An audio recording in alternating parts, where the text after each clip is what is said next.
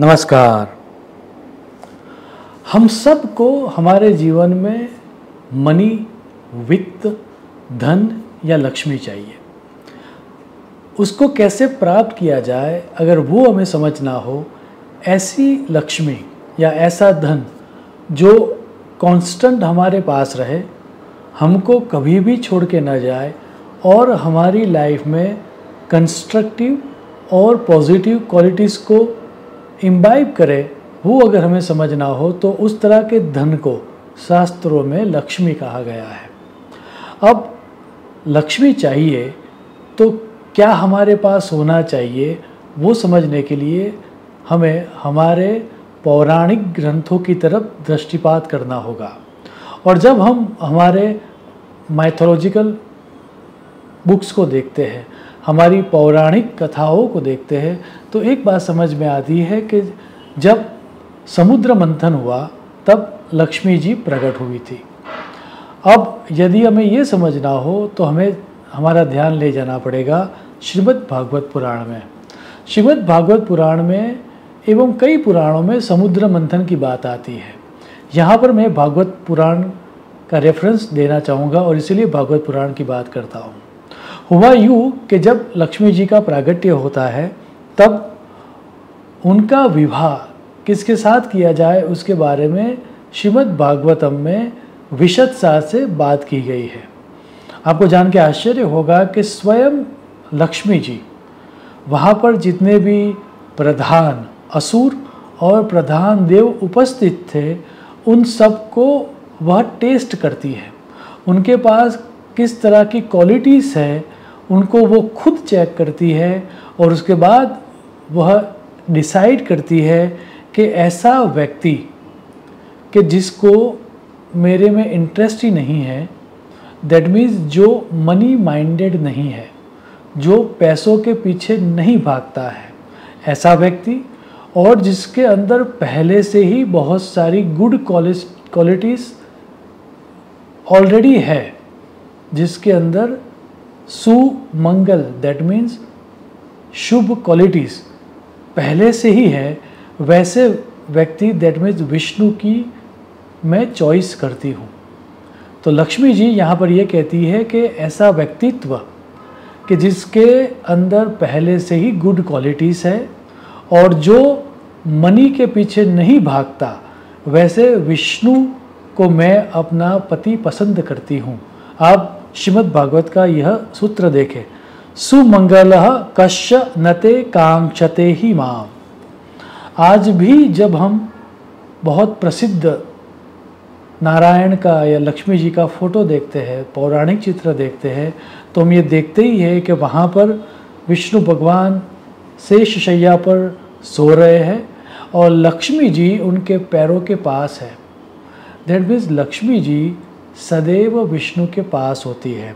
वेद व्यास जी लिखते हैं, विष्णु हो पादे सदा स्थिता लक्ष्मी। ही इतना ही नहीं, वेद व्यास जी तो आगे जाके ये भी कहते हैं कि लक्ष्मी जी का यह व्रत है कि वो सदैव that means all the time Vishnu ji के पास ही रहेगी।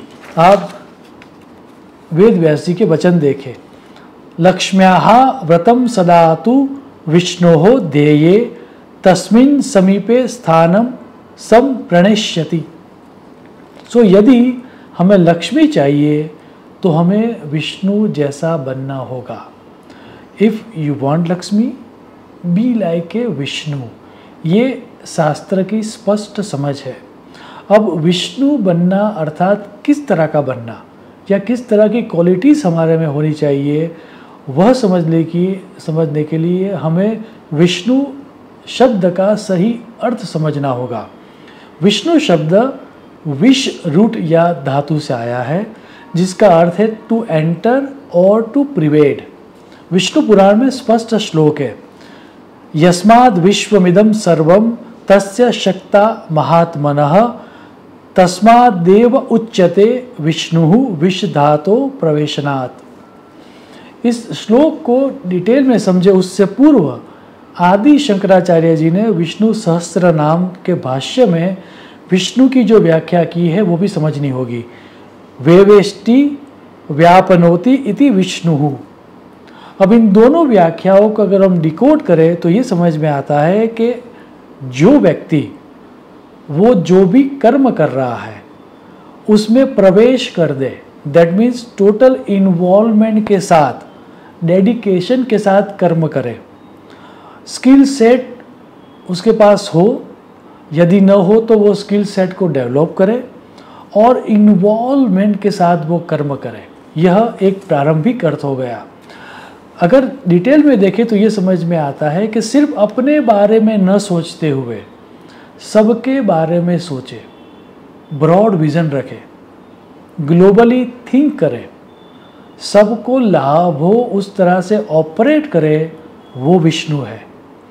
सो so, दोनों व्याख्याओं को मिला के अगर हम समझे तो यदि मैक्सिमम लोगों को लाभ हो उस तरह से ग्रेटर गुड के लिए ब्रॉड विज़न रख के जब कोई भी व्यक्ति काम करता है या ऑपरेट करता है तो वह विष्णु की फ्रीक्वेंसी को टैप करता है। और जैसे ही कोई विष्णु की फ्रीक्वेंसी को टैप करेगा, लक्ष्मी जी उसके पास स्वयं आ जाएगी। श्रीमद् भागवत के ऊपर एक टीका लिखी गई है। उसमें सूत्र समझाते हुए ऐसा स्पष्ट कहा गया है कि if you want Lakshmi be like a Vishnu.